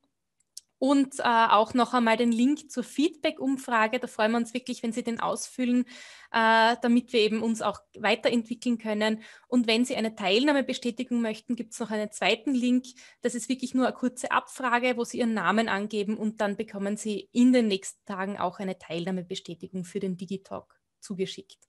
Genau, und ganz zum Schluss habe ich noch unsere DigiNews eingeblendet. Äh, wenn Sie über solche Webinare, aber auch andere News im äh, Bereich Digitalisierung und Erwachsenenbildung auf dem Laufenden bleiben möchten, abonnieren Sie die DigiNews. Es kommt äh, circa äh, viermal im Jahr so ein Newsletter, wo wirklich gesammelt ähm, ganz viele Neuigkeiten eben dabei sind. Damit beende ich jetzt auch schon meine Bildschirmfreigabe und äh, beende jetzt dann auch diesen Digitalk. Noch einmal ganz, ganz herzlichen Dank an alle fürs Dabeisein und einen schönen Jahresausklang und frohe Weihnachten an alle, die es feiern.